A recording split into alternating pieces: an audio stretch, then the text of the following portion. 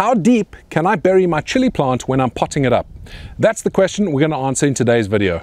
Today we're going to be potting up one of these chili plants into this pot. Now the reason people ask the question how deep can you bury your chili plant is because ultimately you want your chili plant to be lovely and compact. That growth there is just beautiful.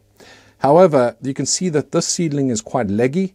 There's a large stem down the bottom here, and that's not ideal. Let's take a closer look at this plant and we'll talk about some interesting things about chili plants that makes this ideal for burying really deep. If you take a look at these two chili seedlings, you'll notice that the roots are starting to grow above the soil. Now, the reason that's happening is because there's just way too much moisture where I was growing these. There was too much humidity. I left the dome on too long, and that caused these roots to start developing because they detected moisture at that level. That is not ideal for chili seedlings. These roots should be underground, gathering up nutrients and water. It does, however, help to prove what I'm going to show you today actually works.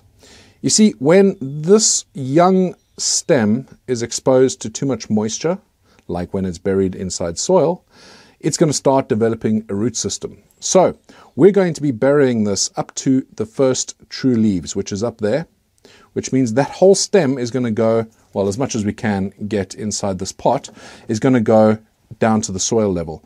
Now, that means that those roots are going to start growing out of the stem.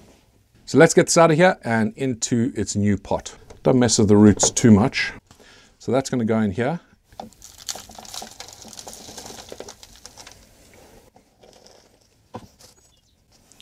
Now, I would bury that even deeper if I had a pot that was a bit deeper, but that still has taken that way up above where the cotyledons were. And I'm making a heck of a mess doing this. There we go. We need to give that a good watering.